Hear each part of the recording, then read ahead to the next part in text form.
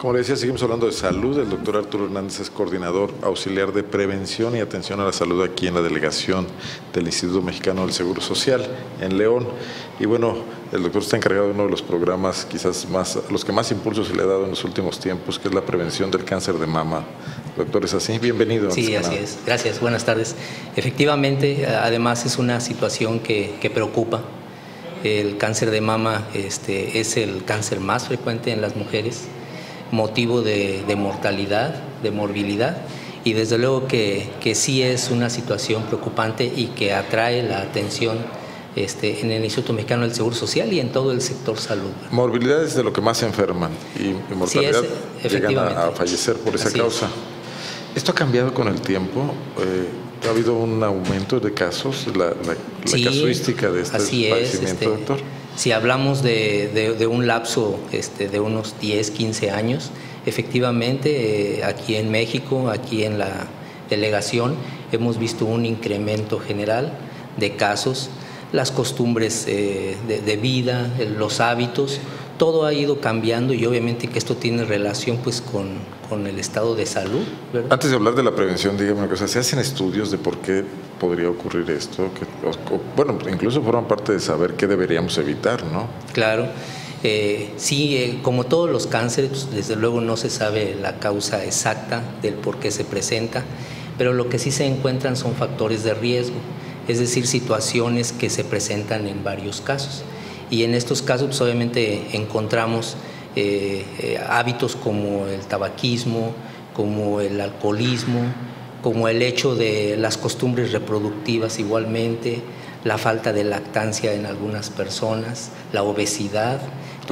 no, dar el pecho a los hijos puede ser un factor de riesgo. Efectivamente, así lo es. O sea, fumar, beber alcohol, en cantidades, me imagino, bueno, pues ya, ya exageradas o altas. El tema de la alimentación. Claro. ¿También? Sí, ah, este, desde luego que la obesidad es un problema aparte, pero repercute precisamente en, el número de casos.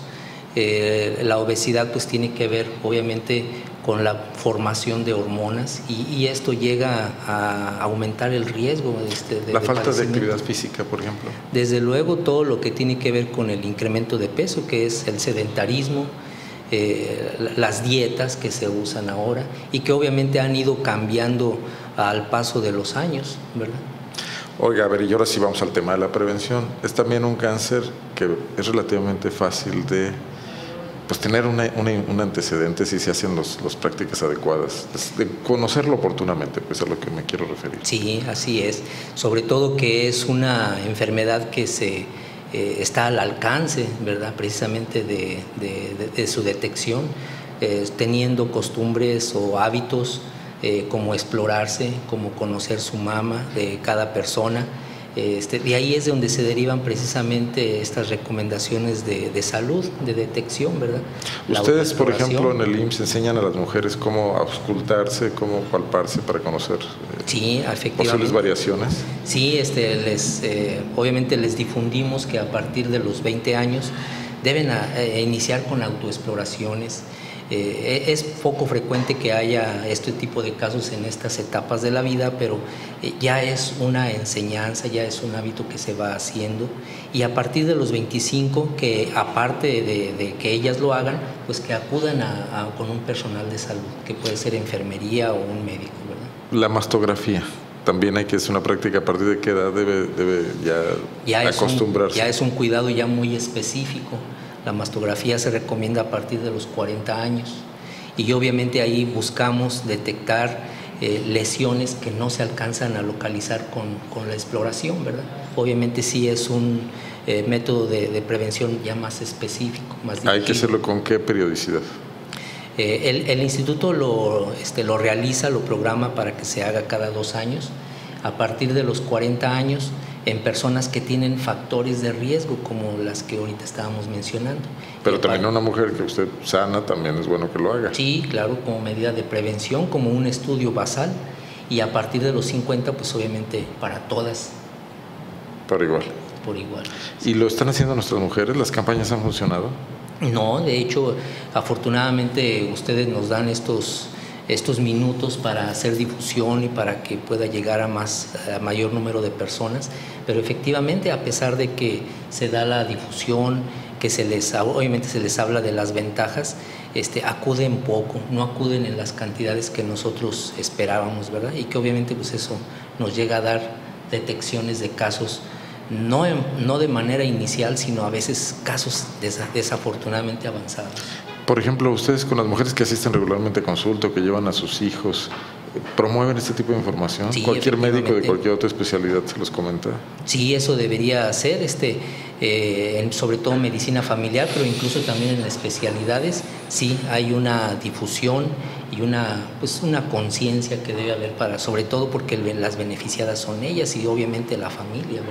Ahora digo una cosa, una bueno, pues alguna protuberancia o un signo de que pudiera haber un tumor en el, en el seno, detectado a tiempo, tiene altas probabilidades de tratarse y, positivamente, pues, ¿no? Como buen resultado. Sí, efectivamente es, es el objetivo precisamente de las campañas de, de, autoexploración, ¿verdad? Para que pronto se detecten alguna situación y puedan acudir eh, en forma oportuna.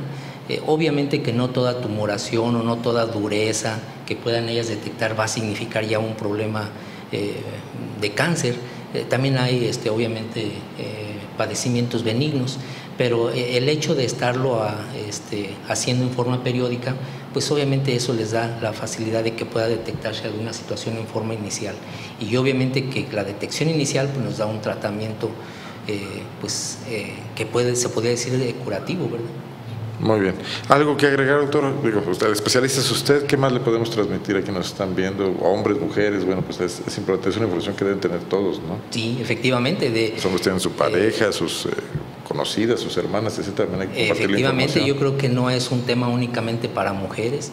Este, todos los hombres tenemos hijas, tenemos esposa, tenemos hermanas, tenemos este, obviamente una madre y, y, en todas ellas este, pues, eh, el, el problema está latente creo que nadie nos podemos quedar tranquilos cuando un padecimiento lo tenemos cerca y, no hacemos algo para, eh, para evitarlo o para buscarle obviamente una solución eh, oportuna. ¿verdad? Me decía que algunas cifras de aquí de la región Bajío y de León sí se tienen, la incidencia, por ejemplo. Bueno, sí, eh, en el Seguro Social en el 2014 terminamos con una incidencia de 6 por 100 mil mujeres, es decir, 6 de cada 100 mil este, pues fallecieron por esta causa, ¿verdad? Esto es en números absolutos. ¿Y se detectó en cuántas más? Eh, estos es números absolutos de 45 casos. Desafortunadamente, 45 casos. desafortunadamente pues fueron personas que se acercaron eh, con el padecimiento ya eh, en, etapas este, no iniciales y, y, que obviamente pues ya había menos que hacer. Obviamente que también hay su tratamiento, pero este, sí ya es difícil hablar de una situación así de erradicación, ¿verdad? Aparte de la, autoexploración y la mastografía, ¿hay otra manera de algún otro síntoma que se pueda presentar? Bueno, tenemos la autoexploración y tenemos obviamente la mastografía para personas mayores de 40 años, pero cuando una paciente menor de 40 años necesita un estudio de apoyo, pues tenemos el ultrasonido, ¿verdad? Y, ese también nos va a ayudar a detectar algunas situaciones este, eh, muy tempranas o incluso pacientes mayores de 40 años, por ahí pudiera ser eh, recomendable complementar con un ultrasonido, pero inicialmente pues obviamente la mastografía. Muy bien, yo le agradezco mucho doctor la información que nos comparte en este espacio que generosamente el IMSS nos apoya para difundir temas como estos. Es el doctor Arturo Hernández, también yo se lo agradezco, coordinador auxiliar de prevención y atención a la salud aquí en la delegación León o delegación Guanajuato, mejor dicho. Delegación Guanajuato. Así es, la estatal. Bueno, vamos a una pausa.